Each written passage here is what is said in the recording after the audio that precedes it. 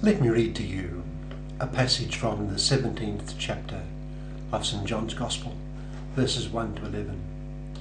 It's the Gospel for Tuesday of the seventh week of Easter.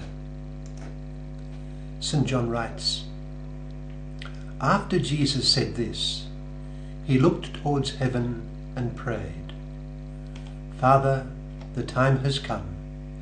Glorify your Son, that your Son may glorify you. For you granted him authority over all mankind, that he might give eternal life to all those you have given him. Now this is eternal life, that they may know you, the only true God, and Jesus Christ, whom you have sent. I have brought you glory on earth by completing the work you gave me to do. And now, Father, glorify me in your presence, with the glory I had with you before the world began. I have revealed you to those whom you gave me out of the world. They were yours, you gave them to me, and they have obeyed your word. Now they know that everything you have given me comes from you. For I gave them the words you gave me, and they accepted them. They knew with certainty that I came from you, and they believed that you sent me. I pray for them. I am not praying for the world, but for those you have given me, for they are yours. All I have is yours, and all you have is mine, and glory has come to me through them. I will remain in the world no longer, but they are still in the world, and I am coming to you. That's from John chapter 17, verses 1 to 11. Our Lord refers to glory. There are many prayers in the sacred scriptures.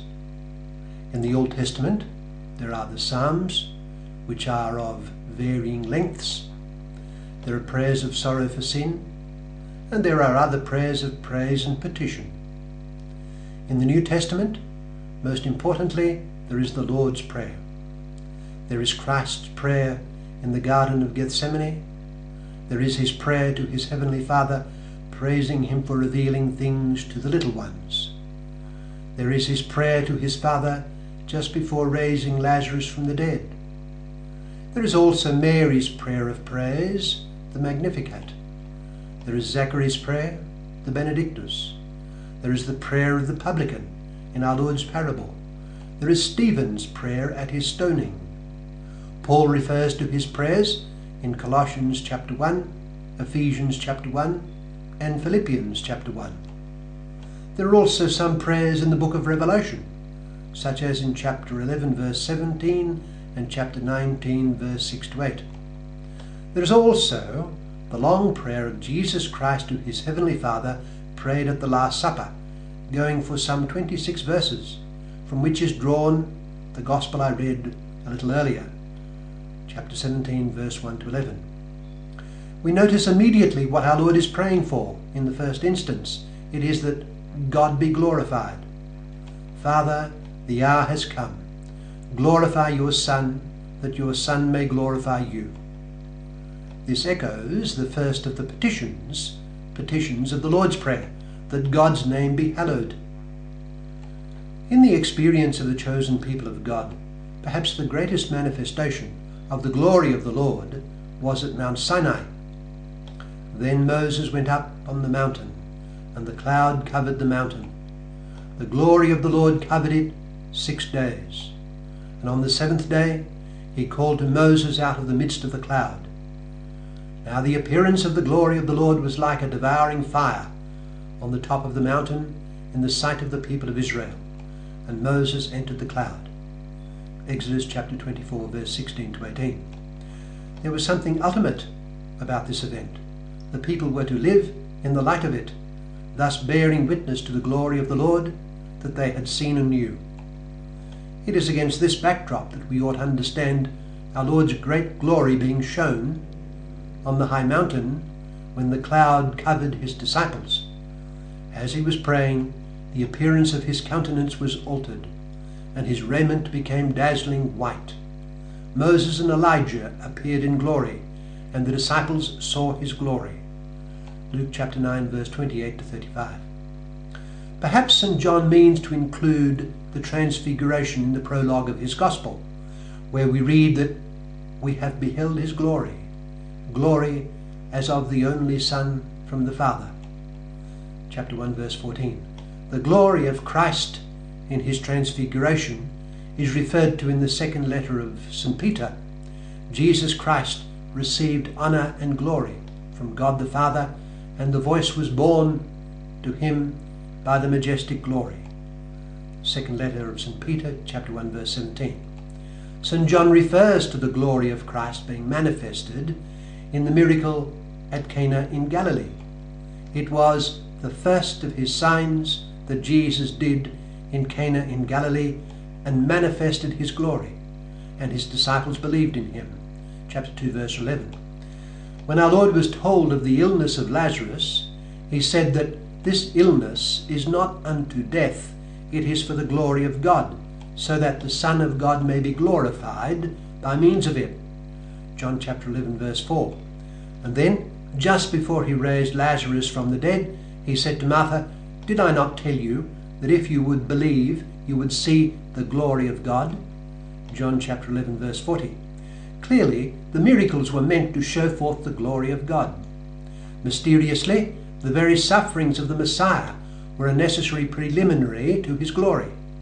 When our Lord, risen from the dead, joined the two disciples on their way to Emmaus, he said to them that was it not necessary that the Christ should suffer these things and enter into his glory? Luke chapter 24, verse 26. In the book of Revelation, we read the heavenly acclaim Thou art worthy, O Lord our God, to receive glory and honour and power because thou hast created all things. Chapter 4, verse 11. It is for the glory of the Lord that our Lord prayed in the prayer of our gospel passage I read earlier. So then, what is this divine glory, the object of Christ's prayer, and to which the scriptures often refer? St. Augustine defines it as the Latin clara notitia cum laude, brilliant celebrity with praise. God has created all things and sustains them continually from nothingness, and this he does as a manifestation of his glory. I am Alpha and Omega, the beginning and the end, says the Lord God. Revelation chapter 1 verse 8. The Lord has made all things for himself. Proverbs chapter 6 Proverbs number 16 verse 4. His objective in doing this could not be in order to derive some benefit from them, as conceivably parents might choose to have many children in order to ensure that someone looks after them in old age, or to keep the family enterprise in continuance. Rather, God's work is the manifestation of his glory. The First Vatican Council taught that if anyone shall say that the world was not created for the glory of God, let him be anathema. Session number 3, chapter 1. The objective revelation or manifestation of the Creator, in and by means of the things that, he, that exist, is the glory of God. This manifestation of the divine nature constitutes the universe, the book, one might say, in which God has recorded and shown his greatness and majesty. The person and redemptive work of Jesus Christ supplements this and shows forth the glory of God even more. God's glory is shown in man redeemed and sanctified by Christ's grace.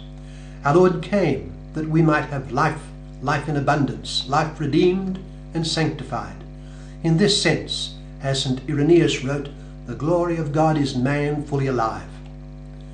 Let us pray daily with Jesus our Lord that God will be glorified in his works, both natural and supernatural, and in us. Glory be to the Father, and to the Son, and to the Holy Spirit, as it was, is now, and ever shall be